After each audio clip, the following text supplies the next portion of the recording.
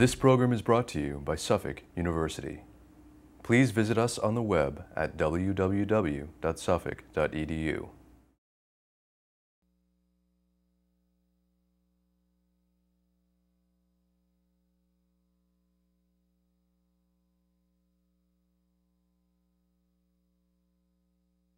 Good evening. My name is Jack Roble, and I'd like to welcome you to a very special event tonight, uh, the Ford Hall Forum's First Amendment Awards honoring the Foundation for Individual- Rights in Education. Uh, This event tonight is sponsored by some very good friends of ours, uh, Plymouth Rock Assurance Company, Prince Lobel Glovsky and Tye, the Boston Bank and Trust Company, McCarter and English, Bingham McCutchen, WBUR, and of course our partner, Suffolk University, which is now the home of the Ford Hall Forum. As most of you know, the Ford Hall Forum has for over a century conducted public, open, free lectures. Uh, We've brought together the, some very intriguing and thought-provoking people uh, to discuss the issues of the day. And I urge you to go onto our website and take a look at some of the people who've participated in the Ford Hall Forum. The First Amendment Award, which we're conducting tonight, is a natural outgrowth of the mission of the Ford Hall Forum. Quite simply put, our mission is free speech. Recognizing that a democracy can only work if, if the citizens are informed and the current issues of the day are discussed in a public forum. For your information, this program tonight is being recorded, and if you do participate in the question and answer period later in the session, which we encourage you to do, uh, you are giving us rights to publish and to reproduce your questions. With that, I'd like to turn the floor over to uh, Don Ty, who is Vice President of the Ford Hall Forum, to make the presentations. Don?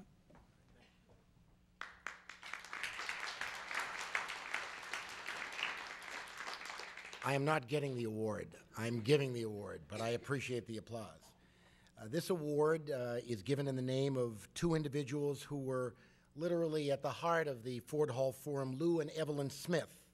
Although Lou Smith had little education, he went on to make money in the textile industry and was then able to pursue his true calling, which was working for causes that he felt bettered humanity. Lou supported many Boston institutions, but the organization that was closest to Lou's heart was the, the Ford Hall Forum. He was a lifelong learner and was passionate about being exposed to different ideas, controversial, non controversial, popular, and uh, unpopular. And, uh, and, and the forum is, a- is a legacy of, of Lou and Evelyn Smith. In the late 60s, Lou married Evelyn, the widow of a lifelong friend, and Evelyn shared many of the beliefs they had together in a true love of freedom of speech and thoughtful debate in both their own family and in the city of Boston. And we like to think that the Ford Hall Forum is a jewel of the city of Boston. This evening, in the spirit of passionate learning, active civic participation, and most importantly, the thoughtful exercise of rights of freedom of expression, the board of the forum has voted, and we had some very, very strong uh, competition, I might say, but we voted to present the 2010 Louis P. and Evelyn Smith First Amendment Award to FIRE, the Foundation for Individual Rights in Education. And I'd like to ask uh, Harvey Silverglate, uh, uh, Greg Lukianoff, and uh, Steven Pinker to please come up and each extend me one hand, and I'll present this to the three of you.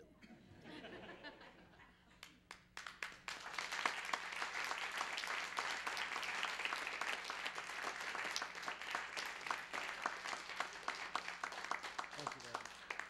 Thank you. There we go. I'll let the president away. And you'll, you'll hear from each of them. Let me just say very, very briefly that the, that FIRE uh, effectively and decisively defends American liberties on behalf of thousands of students and faculty all throughout our nation's campuses. In case after case, FIRE brings about favorable resolutions for those individuals who continue to be challenged by those willing to defend fundamental rights and liberties within our institutions of higher education. In addition to individual casework, FIRE works naturally to inform the public about the fate of liberty on our campuses. There's a very lengthy uh, uh, article about them and about the individuals. And I, I'd like right now to continue this evening's event by turning the microphone over to certainly one who knows about defending rights and liberties uh, here and throughout the country, uh, Judge Nancy Gertner of the United States uh, District Court. Please.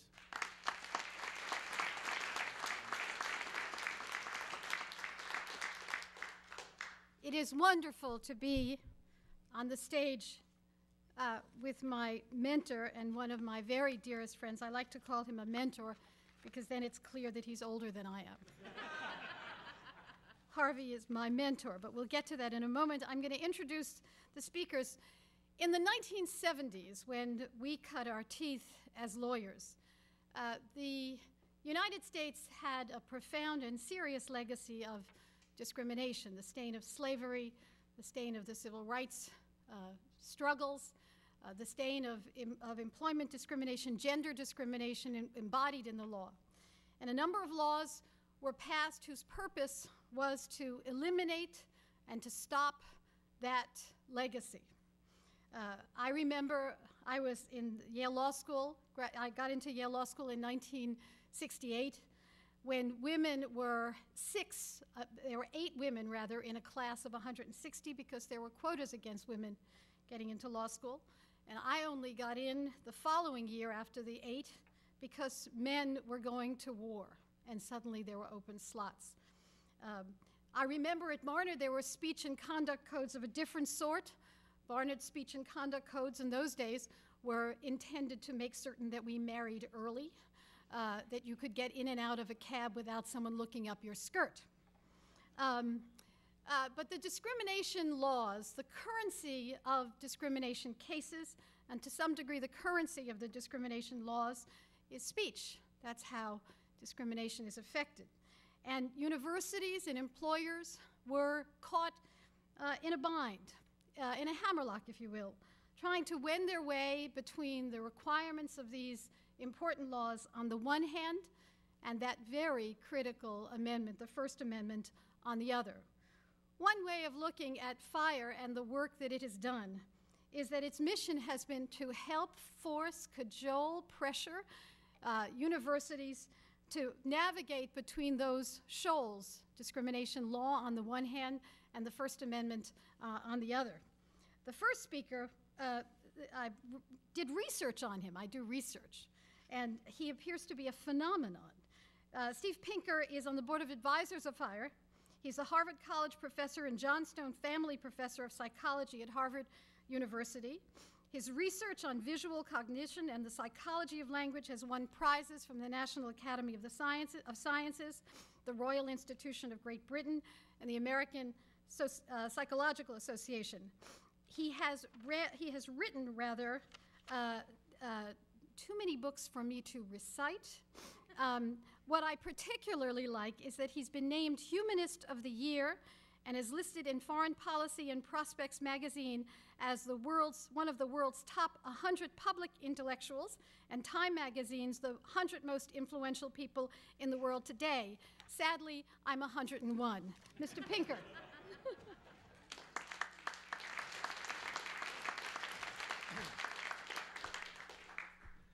Thank you very much. It's a, a, great honor to be speaking to the Ford Hall Forum, all the more so in an event designed to honor the Foundation for Individual Rights in Education. Uh, I'm an experimental psychologist. I'm interested in how the mind works, and that gives me two interests in the issue of free speech on campus. One of them is that I think that psychology is becoming the uh, science that is most likely to get people exercised about issues that they feel have great moral and, and cosmological import. Used to be that people were deeply concerned about cosmology, whether the Earth went around the sun or vice versa, and read uh, profound moral implications into that debate. That pretty much got settled. Then I think it was evolutionary biology. The battle is not quite won, but uh, clearly uh, among educated people, it's clear that that's no longer uh, an open issue whether life evolved by Darwin's mechanism of natural selection. Today, I think it is the scientific study of the mind that uh, people tend to blend with deep moral issues. And I'll give you just a few examples of questions that have been raised by people in the field of psychology that have gotten them into trouble because even though they in theory are purely intellectual questions, uh, people believe that they uh, shake the foundations of morality. Uh, do most victims of sexual abuse suffer no lifelong damage? Uh, do women, on average, have a different average aptitude in mathematical reasoning than men? Uh, are Ashkenazi Jews, on average, smarter than Gentiles because their ancestors had been selected for the shrewdness needed in moneylending? Is morality just a gadget that evolution installed in our brains with no inherent re- reality? Are religious beliefs like parasites which colonize the minds of believers? Is the average intelligence of Western nations falling because duller people are having more children than smarter people? Do men have an innate tendency to rape? Do women who give birth under difficult circumstances have an innate tendency to abandon or even kill their newborns?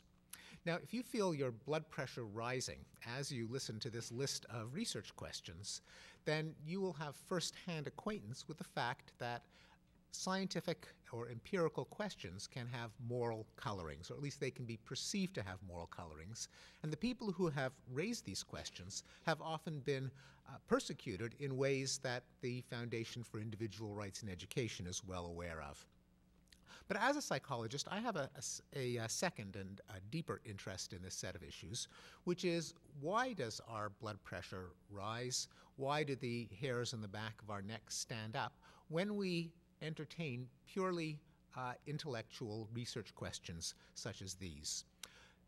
It brings up a uh, phenomenon called the psychology of taboo, the sensation that certain ideas are evil to think quite apart from the uh, fact, of course, that certain actions are evil to commit, but can it be sinful even to think a thought? Now, most of us would consider ourselves above this primitive mindset. The word taboo comes from animistic beliefs in uh, Polynesian pre literate peoples, and most of us consider ourselves above that.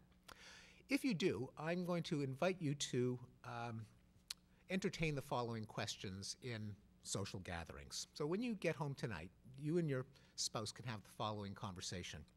Darling, I know that you always have been faithful and always will be faithful, but just hypothetically, if you were going to have an affair, which of my friends would it be with?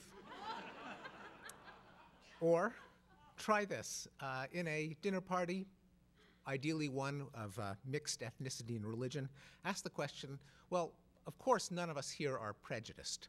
But if we were, if you were bigoted, which ethnic group would you be prejudiced against? Just hypothetically. Uh, how much money would you accept to uh, betray your best friend to spread confidential uh, information about him or her? Um, let's say you're an aged parent was uh, needed an expensive medical procedure that would prolong his or her life by two months or six months. Uh, how many thousands of dollars would you be willing to relinquish in order to grant your beloved parent those extra two years of life? Or uh, a couple of examples that have been the uh, focus of dramatic plots. Let's say the Nazis forced you to uh, give up one of your children, and if you refused to decide, they would uh, kill both of them. Which child would you give up? Of course, the plot of Sophie's Choice. Or uh, if you were in financial dire straits and a wealthy man offered you a million dollars to sleep with your wife or with you if you're, if you're a woman, uh, would you accept? Now, there was a, uh, there's a, a, joke about that. That's, of course, the plot of Indecent Proposal, uh, where a man walking out of the movie theater with his wife said, Would you sleep with Robert Redford for a million dollars? And she said, Well, uh, yes, but they'd have to give me some time to come up with the money. now, With these questions, the longer you think about them, the more you incriminate yourself. Uh, the answer to these questions is not to deliberate and then say, well, no, I wouldn't want to sleep with any of your friends, or I'm not pred. Now that I think of it, there isn't any ethnic group that I'm prejudiced against. One must reject them instantly. Just allowing them to percolate in your brain is considered morally corrosive. And as a psychologist, I can recognize the function of this quirk of our psychology, namely, as we associate with other people, as we commit ourselves to our friends and our family, we care not just about what people think or what they do, but what kind of person they are. It's one thing if your friend or your spouse is, has been good to you so far, but are they always eyeing a possible better deal? Would they stab you in the back or sell you up the river as soon as the circumstances made it profitable for them? We don't want to have to constantly ask those questions, and so we seek life partners, coalition partners, friends who are committed through and through, who would not even consider betraying us because it runs against every fiber of their makeup. That is why there is such a thing as the psychology of taboo, and all of those questions, uh, which theoretically should be innocent, in fact are corrosive because they require people to think exactly the kind of thoughts that they should not think if they are committed friends, allies, family members. Well, it makes a lot of sense from the point of view of our psychology, but now along comes this institution called uh, academia, or for that matter, journalism, government, uh, uh, the judicial system, which is, at least nominally, devoted to pursuing the truth no matter how uncomfortable it makes people emotionally. Uh, hence, we have the often emotional reactions to purely intellectual questions in all of these spheres of activity, and the dilemma of whether in these truth seeking organizations the right of inquiry should be absolute. That is, should we dismiss our taboo reactions as a primitive part of our psychology, which just get in the way of the mission of these modern institutions of truth seeking? Or do they deserve some respect that carries over to these formal spheres? I don't know the answer to that question in every case, but I do know that left to its own devices, human nature will be more outraged, more likely to censor, more likely to be victim to the psychology of taboo than would be optimal for the progress of human understanding. And it's for that reason that I'm grateful that we have an organization like FIRE to push back against the tendency in human nature to squelch inquiry under the, mind, the mentality of taboo. Thanks very much.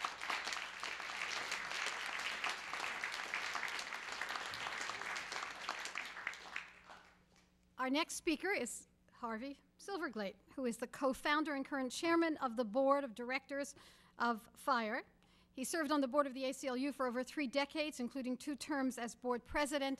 He's currently counsel to Zalkind, Rodriguez, Lunt, and Duncan, a Boston law firm that specializes in criminal defense, civil liberties, academic freedom, and student rights. Harvey has assisted students in trouble since 1969 when he represented student anti war protesters on trial in Massachusetts. A regular columnist for the Phoenix, he's also published in the National Law Journal, the Wall Street Journal, the Boston Globe, and on and on. He's the author of Three Felonies a Day How the Feds Target the Innocent, recently published in 2009, and co author with Alan Kors of the book that really gave rise to FIRE The Shadow University The Betrayal of Liberty on America's Campuses. Um, he is, as I say, someone that I have loved for 40 years. Fair to say? 40 years? And why is that? Um, he taught me, as a somewhat younger lawyer than he was, about the importance of principle, about uh, standing for something, about carving out a life of principle even though, to be sure, we didn't always agree on the principles, uh, but to do work that one believed in. So, part of the, the journey that I have taken, I really attribute um, in large measure to him because he was my model. In addition, our backgrounds were very similar. He likes to talk about how when he was a young man, he used to work in Times Square his family sold um, candy in the Times Square movie theaters. And the company didn't go very far because his father called it the New York Toasted Nut House. Harvey.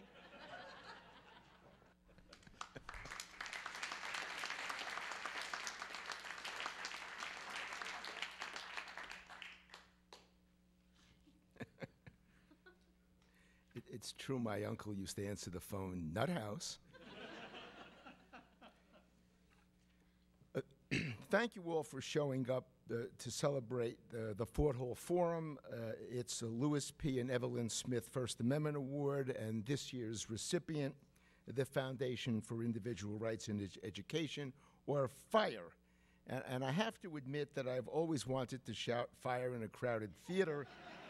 And finally, I've uh, had the opportunity for which I thank you, uh, the folks who showed up in order to make it a crowded theater. Uh, and I, I thank my uh, dear friend Nancy Gertner of, uh, I think it's four decades or so, uh, for her uh, generous introduction, uh, for what she said and for what she mercifully did not say. I've been a member of the Ford Hall Forum my entire professional life, and I've come to respect it as the rare civil liberties organization that has meticulously supported free speech in all situations and on all points of the ideological spectrum. And for this reason, uh, this award to FIRE has special uh, meaning and resonance uh, for me. When Alan Charles Kors and I uh, authored 1998, The Shadow University, The Betrayal of Liberty on America's Campuses, we did not have the slightest idea that the book would spawn an organization and indeed a movement to restore free speech, free thought, and due process to higher education. And when a year later we co founded FIRE, really as a matter of self defense, because we could not remedy and deal with all the phone calls we were getting from students and professors who'd read our book and realized that there might be help on the way, uh, we could not have imagined what that organization would become. Uh, there is, of course, a sad side to FIRE's longevity. Uh, when Kors and I co founded FIRE, uh, I thought it would be a rather short lived undertaking. Why? Because our message and our mission carried such a powerful logic that surely it would take only a few short years before we succeeded in our goal of restoring liberty and procedural decency in the academic world. After all, how could it be that an American college student or professor could be punished for uttering words and ideas that others, usually administrators, but sometimes other students and teachers, found offensive or inordinately challenging? How long could disciplinary tribunals continue to exist where students have virtually no chance of demonstrating their innocence, uh, nor that facts are stubborn things and that facts actually matter? How long could our colleges and universities continue to promulgate, uh, promulgate vague codes uh, and operate kangaroo courts that would make George Orwell and Franz Kafka blush? The answer, which became clear as we celebrated FIRE's 10th anniversary last year, is that restoring liberty and decency on our campuses is a long haul undertaking. I'm hopeful that I will live to see the day when fire is no longer needed. I don't know how long this will take, but I do want to report that I'm taking good care of myself in order to improve the odds that I'll be here to celebrate fire's dissolution. And I pledge that's one party that I will attend. Why is FIRE's mission such an important undertaking? For one thing, education has its own value. Freedoms of speech, and thought, and conscience are their own imperative. Liberty is a transcendent value, and our campuses of higher education have long been deemed centers of learning where free speech and free thought are essential and are to be given special protection. And so, liberty on campus is something we should fight for no matter the consequences. Indeed, without resistance from supporters of liberty, campus administrators can be counted on to move from merely censoring what students may say to insisting that students adopt and mouth acceptable points of view even if the students don't believe what they are saying. Let me tell you one of my favorite stories to emerge from my book tour more than a decade ago promoting the Shadow University. I appeared live on a talk and call-in program on Minnesota Public Radio. It was hosted by a locally well-known moderator who expressed considerable skepticism of my book and suggested that the campus horror stories I was telling were gross exaggerations that were giving undue aid and comfort to politically conservative critics of liberal campus administrators. One story in particular engaged the skepticism of the talk show hostess. I had told of racial sensitivity training sessions at freshman orientation programs around the country in which members of the incoming class during orientation week were asked to line up according to skin color, with the darkest skinned African Americans on one side of the room and the fairest skinned blonde haired Caucasians on the other, with every hue in between. Each student was then instructed by the facilitator to explain to his or her newly introduced classmates, mind you, this was freshman orientation, how his or her skin color had been thus far in life, either an advantage or a disadvantage. The political point was that in a racist society, race is destiny. This may or may not be true, of course, but it is a question to be studied and debated. I said on radio, not a required political belief for students to mouth upon being instructed to do so. I suggested that it was the worst possible form of censorship. It was not a mere prohibition against students saying what they believed, but a forced recitation of things that some of the students, at least, did not necessarily believe. Such programs, I said, bridge the gap between mere censorship and full blown thought reform. As the radio hostess continued to berate me for exaggeration, a listener's call made it through the switchboard, and a freshman at Hamline University in nearby, nearby St. Paul, Minnesota, was suddenly on the air. She had just completed freshman orientation week, she reported, and the orientation sensitivity facilitators had the members of the class line up according to sexual orientation straight students on one side of the room, gay students on the other, bisexuals and the confused or uncertain in the middle. The assignment was for each student, including the involuntarily newly outed students, to tell his or her classmates how sexual orientation had helped or hindered the student's progress thus far in life. According to these diversity facilitators, sexual orientation more than race was destiny. The talk show ho hostess gasped and dropped the accusation that the Shadow University exaggerated the state of free thought and free speech on campuses. But there's more to it. I've recognized for some years now a relationship between, on the one hand, the vague speech codes that, that can entrap virtually any student who says something found offensive by someone, and on the other hand, the laws out here in the real world.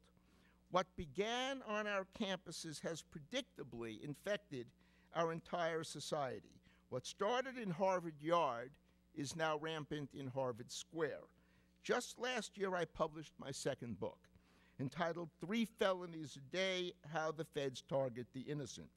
It's about how the United States Department of Justice uses vaguely written criminal statutes to prosecute virtually whomever it wishes, since the statutes cannot be readily understood by citizens.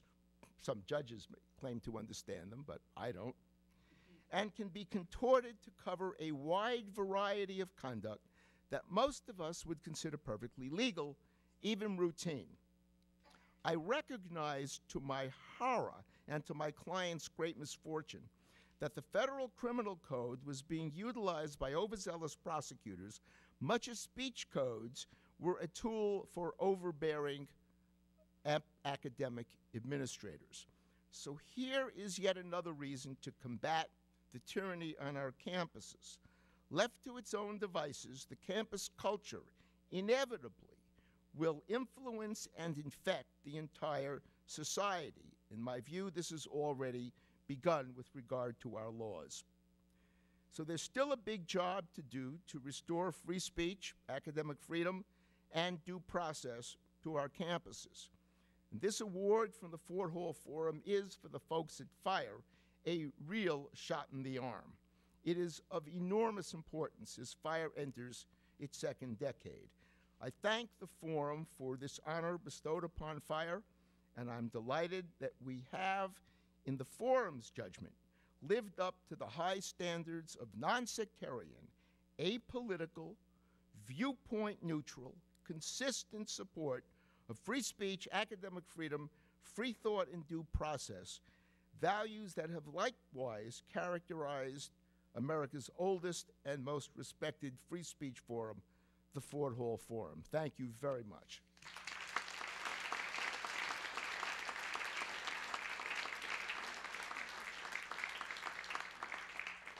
Our final speaker uh, is Greg Lukianoff. Did I pronounce your name right? Okay. President of, the, of FIRE. Uh, he's been with FIRE since 2001 when he was hired to be the organization's first Director of Legal and Public Advocacy. He's a graduate of American University and of Stanford Law School, where he focused on the First Amendment and constitutional law.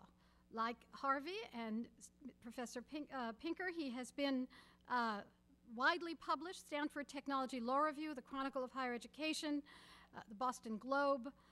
He's a blogger for the Huffington Post. I read several of his blogs. He serves as a regular columnist for the Daily Journal of Los Angeles and San Francisco. He's a frequent guest on local and national syndicated radio programs. Before joining FIRE, he practiced law in Northern California, interned at the ACLU of Northern California, and was, and this was sort of an interesting combination, uh, interned at the Organization for Aid to Refugees in Prague, Czech Re- Republic, and was the development manager of the Environmentor projects in Washington, D.C. Uh, he, along with Harvey and David French, co author FIRE's Guide to Free Speech. Uh, uh, there's another entry in his CV which he'll have to explain. He's a proud member of the board of directors of Philadelphia's Theater Exile. Sounds intriguing.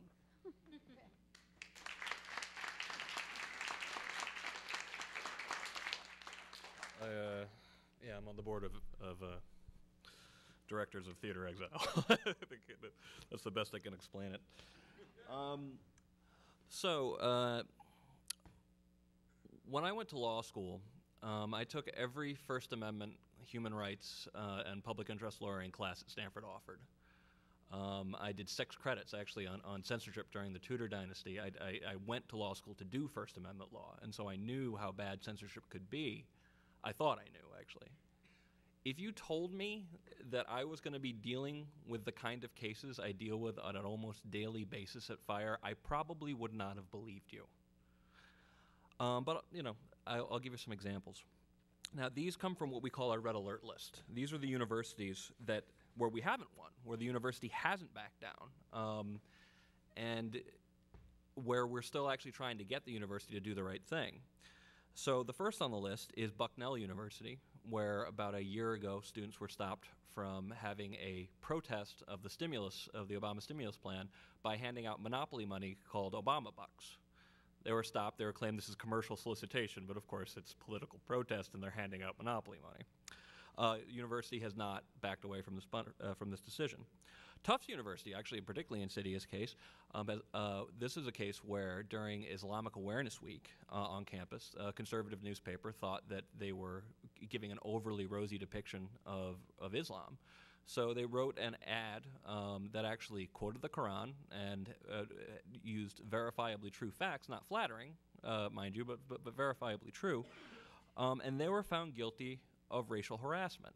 Um, the university has refused to back down from this finding. Now, there was one thing that was wrong in the um, uh, in this ad. They said that the seven countries that punish homosexuality by death are all Islamic theocracies. There are actually eight Islamic theocracies that punish homosexuality by death. But other than that, it was 100% right. Brandeis. This is right out of a Philip Roth novel. Um, the, the, the school actually named for possibly the most important um, uh, uh, lawyer in the history of freedom of speech, as far as I'm concerned, at least. Uh, a Latin American studies professor was actually found guilty of racial harassment without a hearing um, for explaining where the term wetback comes from and criticizing its use, but he had to use it in order to criticize it. He was found guilty of racial harassment. Brandeis stands by this. Michigan State University, also on our red alert list, a student wrote several of her professors um, in a very respectful email explaining that she was angry that they had cut down the semester by several days, um, and she kept basically wanted her money back. She was found guilty of spamming. Um, the university has made it clear that if she ever tries such political advocacy again, she will be punished and Johns Hopkins University, which after a impolite Halloween invitation decided to pass a rule against students being quote unquote disrespectful. Um, some cases that we did win, uh, but just still blow my mind. Indiana University, Purdue University, Indianapolis. A student was a student employee was found guilty of racial harassment for publicly reading a book. This was only two years ago. He the book was called Notre Dame versus the Klan. It's a book actually about the defeat of the Klan in a 1924 riot, and it has a picture of a uh, of the uh, of a demonstration, a Klan demonstration, um, uh, on on the cover. So, literally judging a book by its cover, they found this student guilty of racial harassment uh, because the, the pictures made people uncomfortable. They chastised him for reading, quote, quote, reading a book on a racially aberrant subject. Again, this is about the defeat of the Klan in a 1924 riot. Um, that amazingly, that took a combined effort of fire, the ACLU, and the Wall Street Journal to actually get the university to back down. And this is a public university. This is you don't have to be a First Amendment scholar to know that this is laughably unconstitutional. Uh, Valdosta, a university where a student was actually found guilty, um, uh, uh, uh, he was found to be a clear and present danger for putting a Facebook collage up protesting a parking garage. Uh, the university president had somewhat pathetically referred to the parking garage as part of his quote unquote legacy. So the uh, student actually made a collage set referring to this as the President Zaccari Memorial Parking Garage. That was, uh, the university claimed that that was a threat upon the president's life. They slipped the note under his door and said that he had to g- uh, get mandatory psychological counseling, but that he was also expelled. Uh, yeah, no, just absolutely amazing. Uh, that lawsuit's going on. So meanwhile, we also have speech codes. Um, I, people can be blamed for believing that speech codes went the way of the dodo because there were, you know, no fewer than five decisions between 1989 and 1995 declaring speech codes unconstitutional. And I think collectively, and uh, some legal experts did the same thing, said, "Oh well, thank goodness that's over." Um, we have a full-time lawyer on staff, constitutionally trained, who actually evaluates speech codes across the country, and it's a, it's a little bit of a tedious job, but it has to be done. Um, and we found that 71% of universities maintain what we call red light speech codes, which, uh, to put it simply, is laughably unconstitutional. But I'll give you some examples. Texas Southern University uh, ban, bans attempting to cause, quote, emotional, mental, or verbal harm, which includes embarrassing, degrading, or damaging information, assumptions, implications, and remarks. The code at Texas A&M prohib- prohibits of people from violating the rights to respect for personal feelings, and I love this one because it just sounds so British, and freedom from indignity of any type. Fordham University, for example, uh, prohibits using any e- email message to, quote, insult or embarrass, uh, while uh, Northeastern University, Nat Hentoff School, tells students that they may not send any message that, in the sole judgment of the university, that's a quote, is annoying or offensive. But the, the codes that remain, the most common codes, and, and understand that these are the codes that were overturned between 1989 and 1995, are vague racial and sexual harassment codes. I think they rely on uh, racial and sexual harassment codes because people are so sheepish about challenging them. And that's why you end up with ridiculous things like this. Murray State University, for example, bans uh, displaying sexual and or derogatory comments about men, women on coffee mugs, hats, clothing, etc. I have to admit, I would really like to see the coffee mug that caused that to get in the policy. The University of Idaho bans communication that is, quote, insensitive. Uh, New York University prohibits insulting, teasing, mocking, degrading, or ridiculing another person or group, as well as inappropriate comments, questions, and jokes. Whereas Davidson College sexual harassment policy still prohibits, after ma- being made fun of by fire for a decade almost, the use of, quote, patronizing remarks, including referring to an adult as a girl, boy, hunk, doll, honey, or sweetie. It also bars comments or inquiries about dating. I'm not really sure how you date without without either commenting or inquiring about it, but apparently you're not supposed to at Davidson. Now, of course, there is skepticism about our, our number, 71%, but this is one thing that I'm proud to say. So far since 2003, there have been 16 challenges, I think actually at this point maybe uh, 17, to codes that we have dubbed red light codes. 100% of them have either been withdrawn or defeated in court. You don't really end up. Thank you.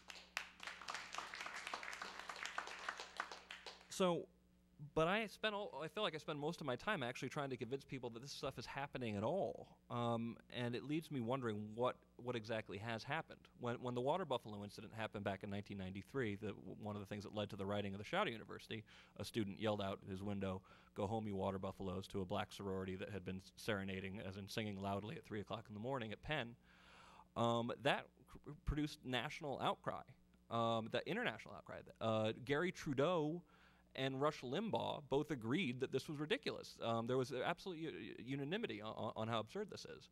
Meanwhile, I have a case where a guy gets in trouble, gets found, guilty of racial harassment for publicly reading a book, and it barely produces a national shrug.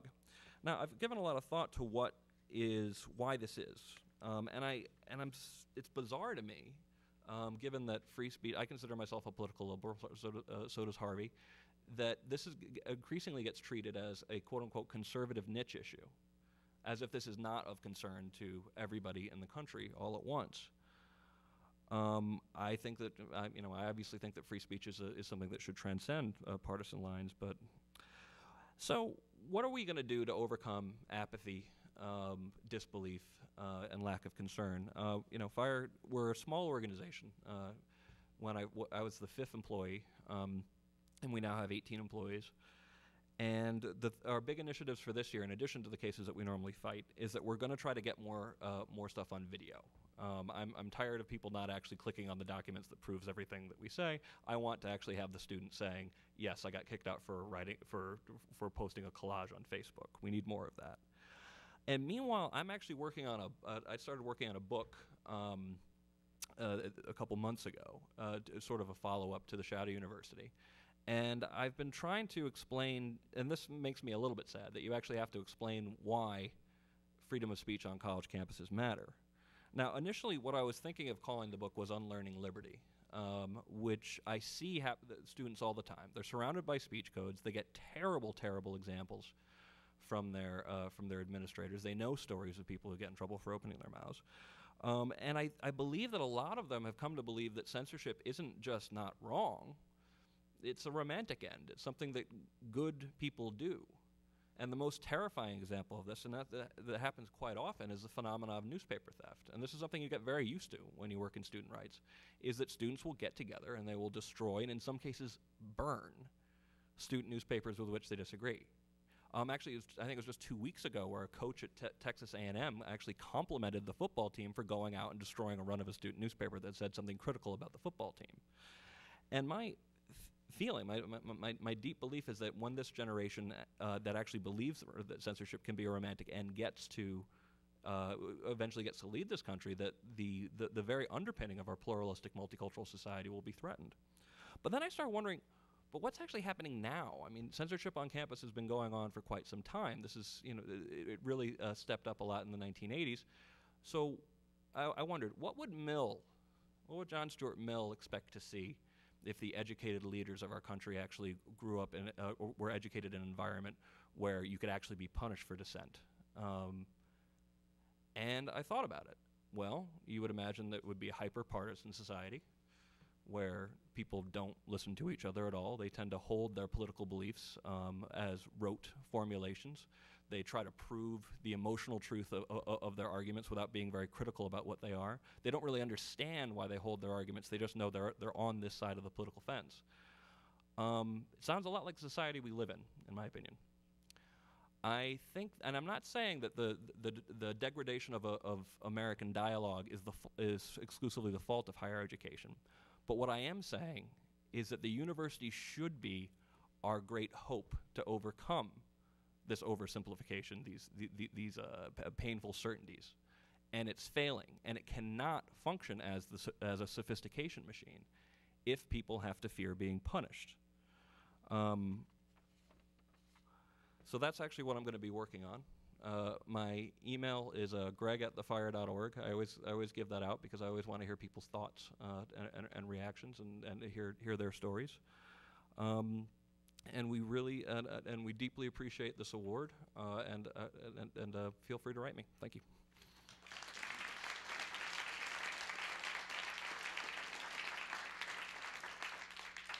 You know, is it on? We're going to open up to questions momentarily. People can uh, go by the mics on either side. I have an opening question. So, Professor Pinker, I call you Professor because it's an antagonistic question. I'm kidding. I'm kidding. Um, talked about taboos, the importance that universities uh, discuss or permit the discussion of truth no matter how uncomfortable. Why isn't some of the examples that, for example, Harvey gave, uh, universities setting up discussions to confront the taboo of racism? Anyone? Why isn't that exactly what was going on in the training that Harvey described? Is ra- racism is a taboo? Other You can't discuss it? Pro- someone who was, uh, uh, you know, sort of pro-racial, profiling pro-racial differences, and this was confronting one's feelings about it and one's taboos. Well, if there was a, an open discussion on questions like uh, ought there to be racial profiling using the statistics of racial uh, or national groups to uh, direct resources of uh, police or, or um, homeland security uh, attention, it seems to me that that's a kind of discussion that, that ought to be held. It strikes me that these exercises are not directed to probing the costs and benefits, either moral or practical, of those problems. It, my understanding is that the objection, and maybe Greg and Harvey can speak to that, is that they are intended to indoctrinate students in only one uh, correct opinion rather than to put these positions under a spotlight and examine their merits. But if it was to examine their merits, then it's not clear that that above all should be a mandatory exercise for every freshman. But if it was the subject of a, of a seminar, it sounds like a perfectly appropriate thing to be discussed in a university. And that is actually what we object to is, is when it, it is a mandatory program that actually requires you to. I'll, give, I'll give an example of, of what we would call thought reform. Uh, Michigan State University used to have a program called Student uh, Accountability and Community. Sounds nice.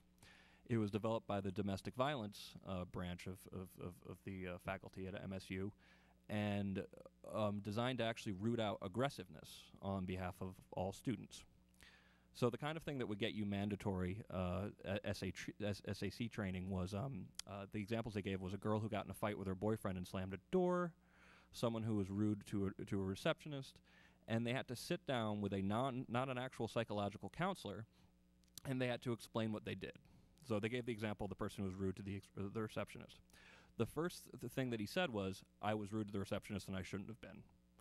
that wasn't the right answer. Then they gave him the wheel of empowerment, and they asked him to uh, uh, to to circle, or actually the wheel of disempowerment. They asked him to circle what what privilege he had actually uh, violated, and the goal was to actually get you after four sessions that you had to pay for yourself, um, that uh, you also uh, that you would be kicked out of if you did not attend, to say it the way they wanted you to say it and then you then you got the wheel of empowerment, and then you had to circle things, and it was buz- just bizarre some of the things that they actually were, were, were, were implicating in it. And the the correct answer uh, was apparently that I felt uh, uh, I, I felt entitled to be in the dormitory, and that was wrong. That was the answer that got you out of psychological uh, of pseudo psychological counseling. Now, as bad as censorship is, um, it's much worse to tell people what they must say. Um, and that's and that's what we object to. Man- mandatory programs that actually require you, and it's even worse to tell people tell tell you what you must think. Um, and universities have completely, uh, so many universities have completely lost this distinction. They saw nothing wrong with the MSU program whatsoever. You want a question? Qu- Is there a question? Yeah. One question for Professor Pinker and one for Harvey. Professor Pinker, you are, were a strong defender of Larry Summers, not, not only his right to say what he said, but the content of what he said. As far as I know, you never did back down. Can you tell us what, what happened, has happened to you in the years since then, uh, from your colleagues? What kind of, uh, how have they treated you? What has been your, your, uh, your, the reaction from your, from folks over there, and why, why is the, you have not been run out of Harvard? and for, for Harvey, with regards to certain people who are not allowed to speak on campuses and sometimes run into problems with demonstrators and are shouted down and, and their speech is canceled, Norman Finkelstein is one who has run into this kind of problem from time to time. Uh, not long ago, somewhere in, in this area, although he is scheduled to speak at Harvard very shortly, I do believe, have you risen to the defense of, of Mr. Norman Finkelstein, the Holocaust contrarian, who some think is an outright crackpot, but you have described as a Holocaust historian? Have you had cause to rise to his defense? Uh, I'll, I'll answer uh, uh, briefly. Of all of the kinds of suppression of free speech and uh, harassment that we've become familiar with, I have, I would have no right and would never uh, dream of complaining about treatment uh, that, that I have received. My, my colleagues have been perfectly courteous, and I've been the beneficiary of, of a, I think, an extraordinarily uh, free system of uh, debate and discussion. So uh, I'm not complaining about that. And with regards to, um, I'd actually know better th- th- than Harvey on, on daily operations for fire. Yeah, w- when there have been situations where people have been trying to prevent Finkelstein from speaking on campus, yes, we have r- risen to his defense, just like we have for Bill Ayers and David Horowitz and everybody across uh, uh, across the political spectrum. I always like the example of Holocaust denial, though I have to say, because it's the it's the one where they where, where people seem to think it's like a gotcha uh, for the for the First Amendment advocate. Um, I actually think that people who, who are Holocaust deniers should actually be heard by everybody because their arguments are ridiculous. If you actually hear some of these some of these people talk, apparently Jewish specific yellow fever between 1943 and 1945 was actually what accounted for it under some uh, under some of these stories. I want everyone to hear that. I want everybody to hear that debate because it's just such a bad argument. You end up giving these people much more power um, if you if you actually uh, force them to to, uh, to to whisper in shadows. Uh, I'd like to ask you about an article that appeared on your uh, website blog last month. Uh, on February 10th, uh, Adam Kissel uh, discussed the uh, case from the University of California at Irvine, which tried to balance the conflict between heckling and free speech.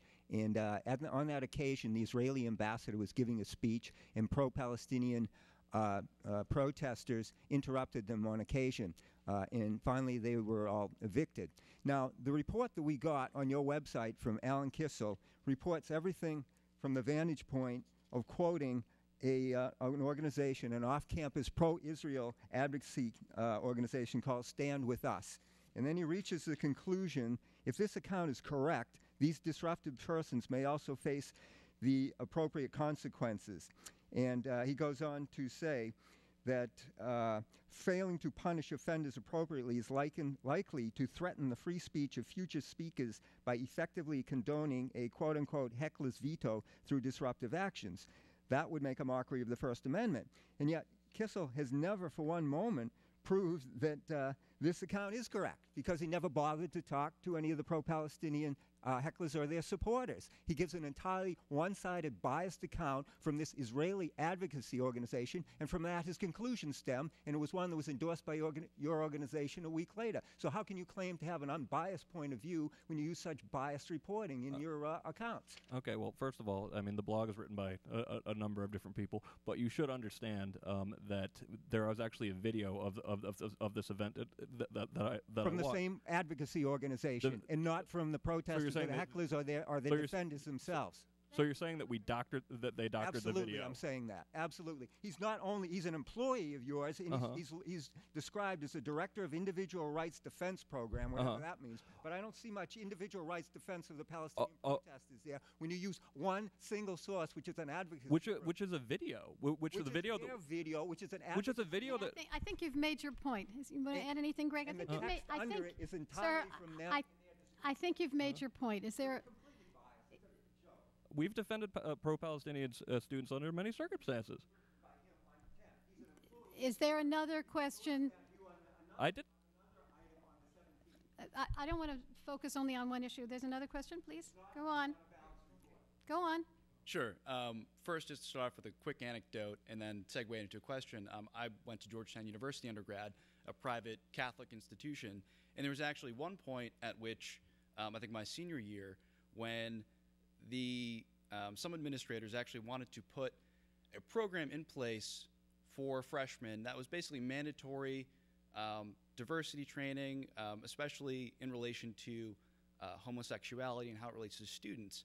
Um, it not only was it mandatory, but they're also going to have it if you wanted to get housing uh, for next year, you had to attend. And so it was very interesting. It, it didn't end up going through happening, but uh, thankfully. But on the question of free speech in private universities, I know um, the fire has sometimes, because there's obviously more limited actions you can take, but you sort of had this sort of contractual basis. Yep. If, if a university like Georgetown has a, uh statement of free speech principles, um, but then goes and violates that, um, how successful have you been or have you tried? We, we've actually, it's kind of funny. Um, okay, just to explain Fire's position. If, if you believe in freedom of association, that means that people both have the right to form and people have the right to attend really restrictive colleges if they want to. Um, that's just, it's an, it's an inevitable conclusion. But the, the the thing is, the overwhelming majority of private colleges in, uni- in, in the in the country know that they're not going to attract students. They're not going to attract faculty members if they say that you will have very limited rights here. Only a handful of colleges can do that, like BYU and probably Liberty University. Usually, usually religious schools can get away with that. So universities actually, like Harvard, for example, promise freedom of speech. So does Yale. Promise freedom of speech to high heaven. Um, now, if you knowingly give up all your rights to attend a Liberty University, that is ac- you're, you're, you're actually acting within your rights. But if you show up to Brandeis, another example, um, a place that that, has, that promises freedom of speech in beautiful, beautiful language, um, you should uh, you should expect to um, uh, you should expect to deliver on those promises, which uh, creates this kind of funny circumstance that even though public universities are bound by uh, the- First Amendment, I would say that we probably have a somewhat better history in some ways of, of fighting for, for freedom of speech at uh, uh, at well-known uh, private colleges because um, they actually are just embarrassed about their reputation. They don't want the alumni coming after them saying, "Wait a second, you're saying that there's no free speech now." Um, so uh, we've it's actually been extremely successful um, uh, when it when it comes to fighting private uh, schools. There's a question over here. Yes, I'm somewhat concerned about the backlash to the Citizens United decision. Many people are now saying that free speech rights belong only to individuals, not to incorporated organizations, which would mean that FIRE doesn't have free speech rights, the ACLU doesn't have free speech rights. I'm interested in the comments from any, any of you on this subject. Do you wanna s- Well, the, the ACLU, at least uh, currently and for uh, many years, has a position uh, that is uh, opposite the result of the Supreme Court decision. Uh, and uh, ACLU has uh, not uh, supported uh, restrictions on, uh, on uh, money in ca- political campaigns. There's a discussion about it now. There was uh, some members uh, of the board were not happy with the Supreme Court's decision, even though it was consonant with ACLU position. And I know ACLU is, is reconsidering it. Uh, I hope uh, that it doesn't change the position. It's a hard position to take, but it's a position that free speech, uh, the First Amendment, I think, requires be taken. There are uh, solutions uh, to the problem of uh, corporate influence in campaigns. The prior executive director of the ACLU, Ira Glasser, had a proposal for years. It hasn't been really adopted in any sincere way in this country of both a ceiling and a floor. That is the um, uh, not a ceiling, but a floor, making it easy for minority candidates to get public money to run campaigns, but to not limit the amount of money that can go into uh, any individual campaign. Uh, so we're, we're going to see this played out. I hope it doesn't result in a constitutional amendment that seeks to limit free speech. That would be, I think, a disaster. Uh, yes. Uh, I have a question about uh, student newspapers and um, uh, the cases where uh, groups will take the newspapers and throw them away or burn them, destroy them. First question is Do the students who are the victims, that is, the publishers, printers, and so on, uh, of the newspapers, have any cause of action? As individuals or as an organization against yep. the destroyers of the property, or is the response, well, no, you put a stack of papers, it's free. Right. There's, uh, all right, so that's a problem. Mm-hmm. And then my question is, how do you go about uh, protecting those newspapers? Mm-hmm. So. Yeah, uh, it's actually a really great and interesting question. Um, that, uh, there were uh, um, back in the 90s and still uh, you know more, more, like four five years ago administrators that when a disfavored political uh, n- newspaper would get stolen the administrator would say hey how can they steal it it's free and it was an argument that didn't uh, fly very well with the public so, and that's the interesting thing is sometimes uh, you know w- regardless of the legality, if something doesn't smell right, if your main job is to actually publicly shame, you can get universities to back down. And we actually had that at Johns Hopkins um, in another case.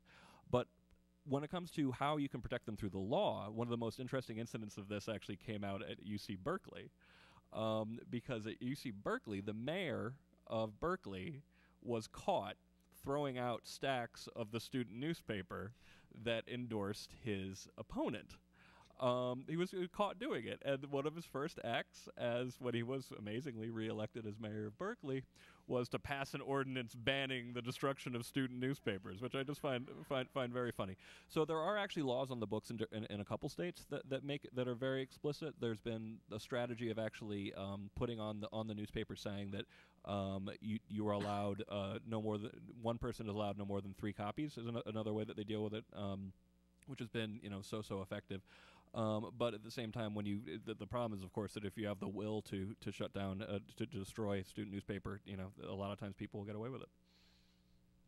Thank you. Uh, hi, my name is Jeff Stone. I'm a dialogue facilitator.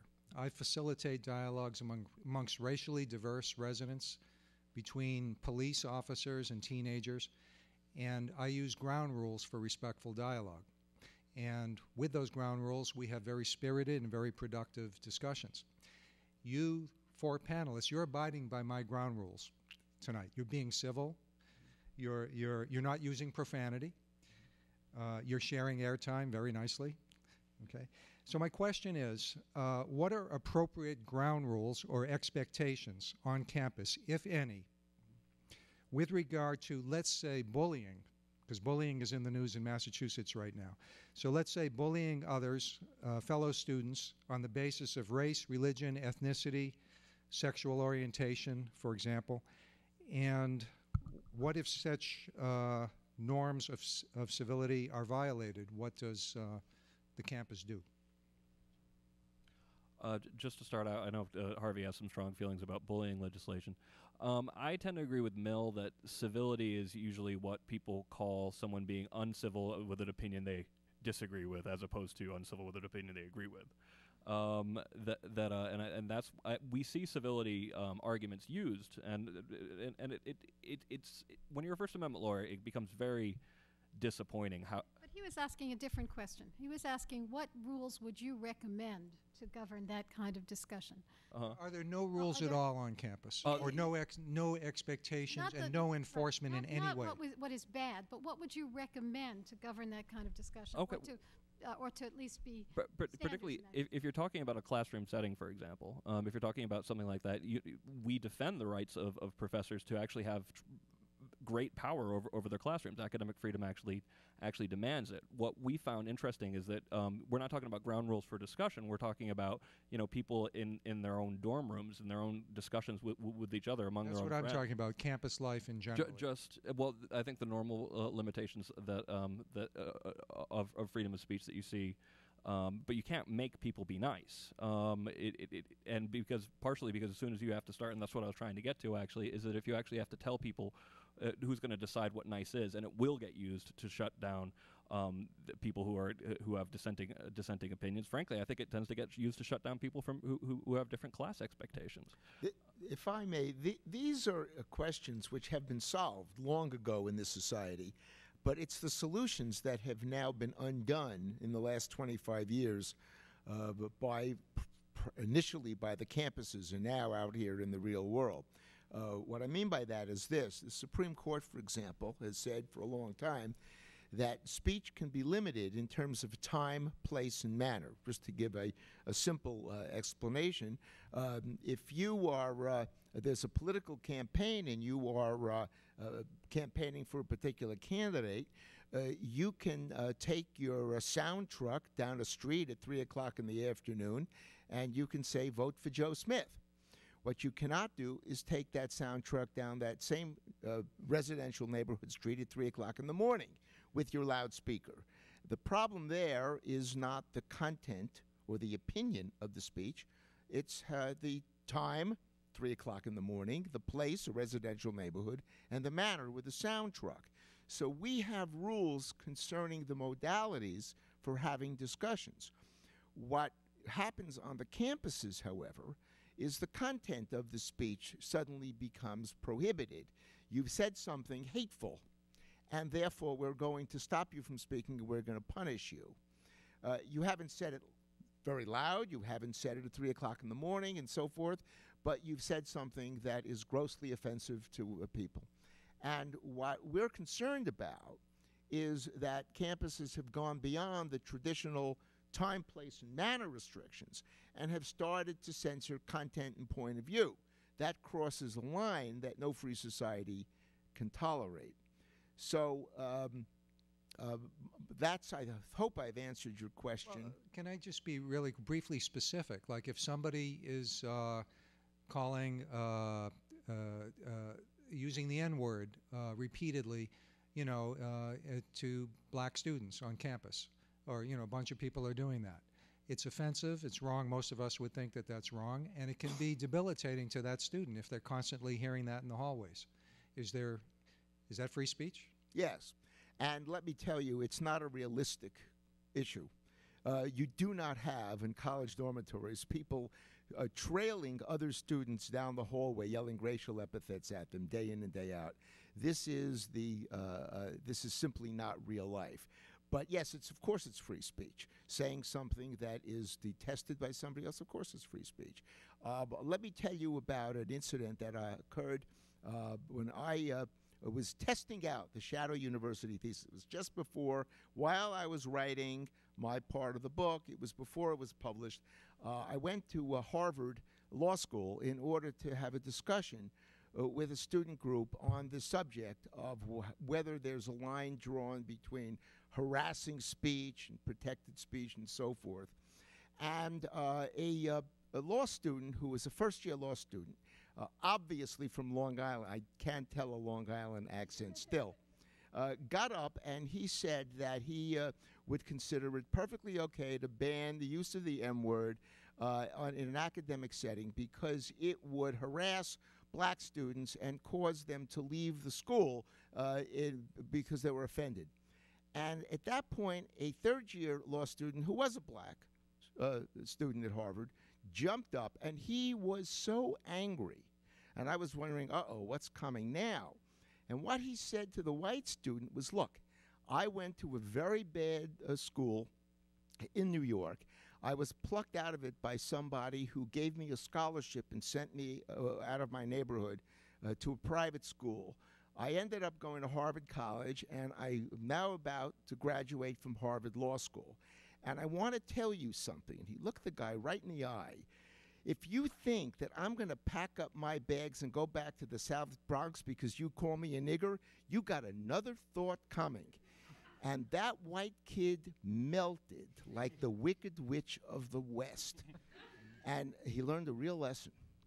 And I learned the lesson. It helped me with one of my chapters in the Shadow University. Okay. Thank you. Yeah, I want to follow up this bullying issue. if I could, just to get clarity on it. If the person who is being bullied is affected psychologically or worse, like suicide, and it's a cause that you can make a relationship between the bullier and the effect upon the person. Is administration within that school system providing free speech or not to the bullier? How old are the students you're talking about? I'm talking about high school. Uh, well, the rules for high school students are different than the rules for adults. Pick your school. There, there's a reason that If there's a difference, you explain it. uh, the, there's a reason fire deals with free speech on the college campus, and the reason for that is that in, under the law and under our generally accepted principles, uh, adults have free speech, and students, young students, children don't. And we're not so bold as to say that everything should be okay in fifth grade.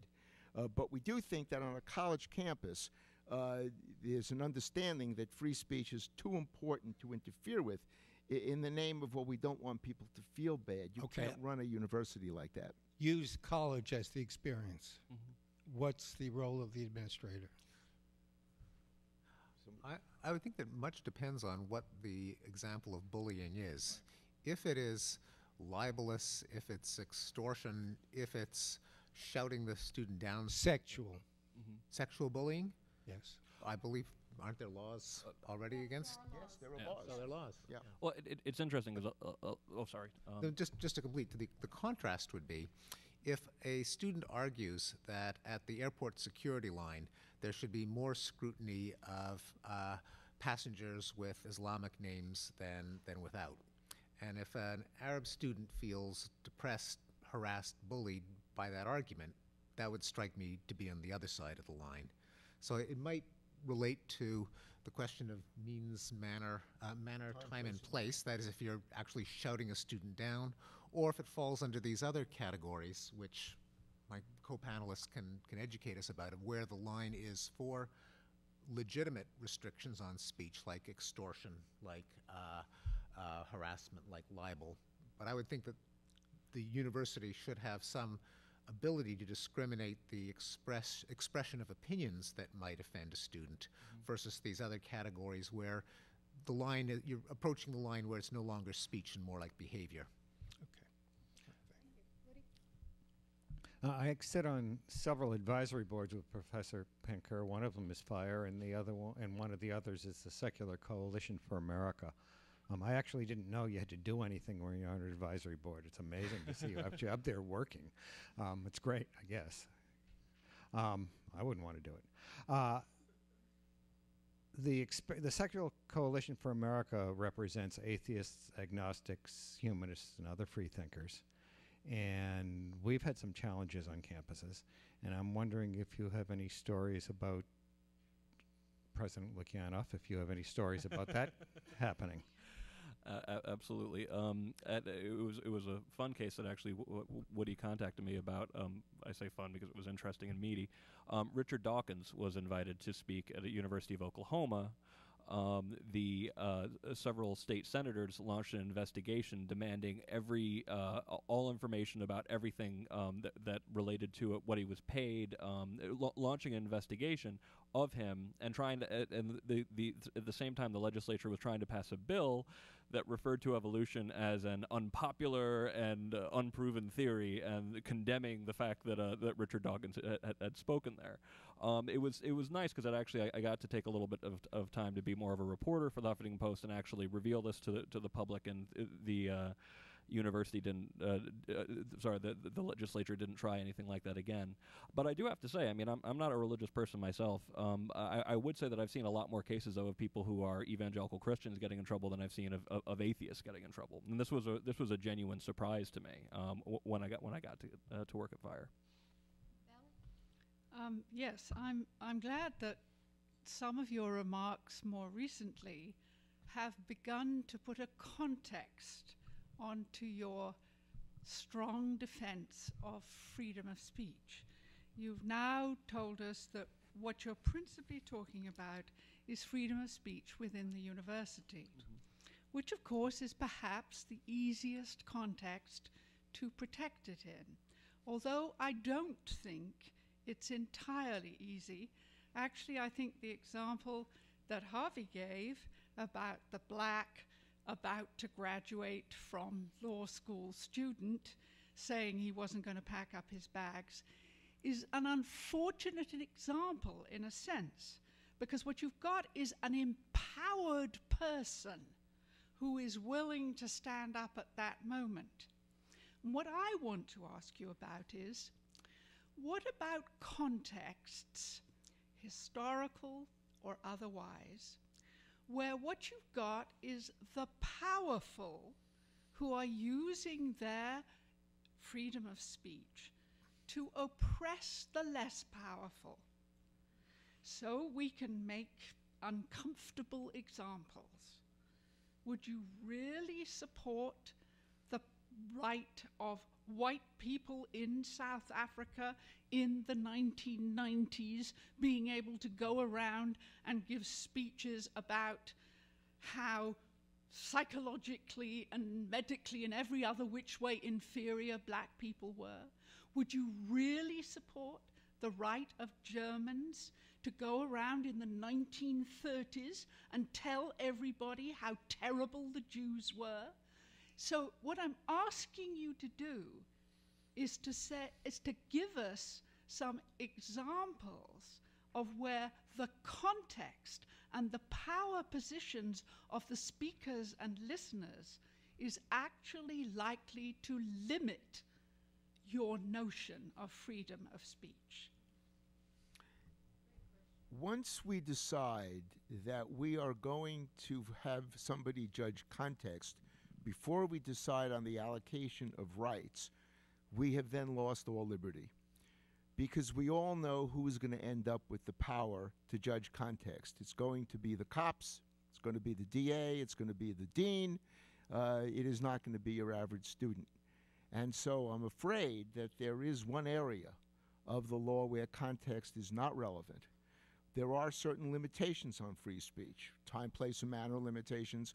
We unfortunately have limitations with regard to sexualized speech. I think that that's a wrong interpretation, but that's where we are right now. Uh, and I do not think context, especially on a college campus. Uh, there are other arguments for the workplace. I won't get into workplace uh, harassment law right now, but on a college campus, uh, context is the enemy of education and the enemy of, of liberty. So I, I think I disagree with the premise of, of your question. I don't know. yeah, it, it's something that this is actually a very common argument that fire runs into a lot. Um, that the administrators use to justify um, their their exercise of power over students, that they're uh, that they're somehow solving um, some uh, historical uh, evil, and therefore they should be uh, granted the power to actually censor um, uh, students.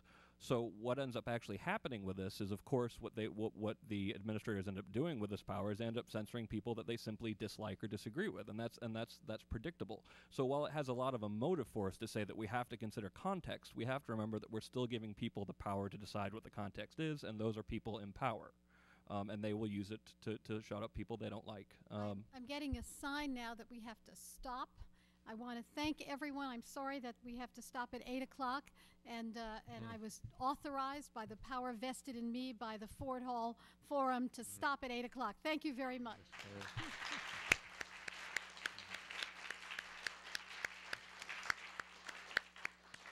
The Ford Hall Forum was uh, founded by George Coleman, uh, as we said earlier, over a century ago.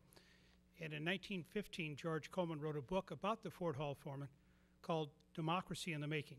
Uh, we'd like to show our appreciation to the panelists tonight by giving each one of them a copy of that book.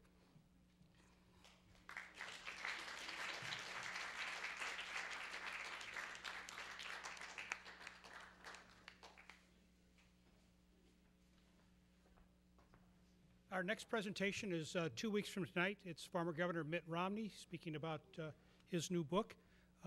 The other sessions following that can be found on the brochure, which you can pick up at the last table, at the back table, I should say. And I hope you've enjoyed it as much as we've enjoyed putting it on. So thank you.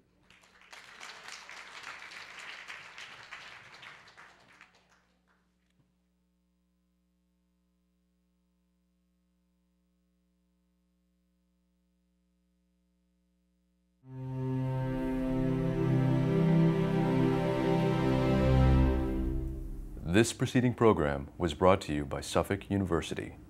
Please visit us on the web at www.suffolk.edu.